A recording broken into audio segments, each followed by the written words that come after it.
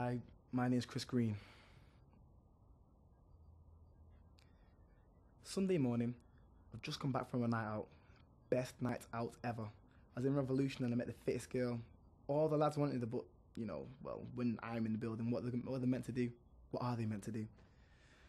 Anyways, so I'm driving home through Fallowfield and I got about five, six, seven texts from my friends. And I'm a very cautious driver. I only got one point on the whole of my driving test. So, you know, sent one group text to them all so I can get out of the way. I heard a beep because I'm a cautious driver. I look up. I see some stupid idiot walking out into the road with a kebab in the hands. What someone's doing eating a kebab at 10 a.m., I don't understand. Anyways, I swerve out of the way. Like I said, I'm cautious. Some stupid woman drives towards me and hits me, clips my car, spins me around in circles. I hit all the cars parked on the side of the road. Luckily for me, I have my seatbelt on, you know, no damage done to me. I guess someone's looking out for me up there. But uh, I was so frustrated. I got out of my car to have a go at her. Anyways, the police get called and the ambulance and all them people. The ambulance are looking at her, but the police come and talk to me. That's ridiculous when she hit me. I had one officer asking me questions, had another looking at my car, assessing the damage. He looks inside my car and sees my phone. Now, I haven't got a problem with that.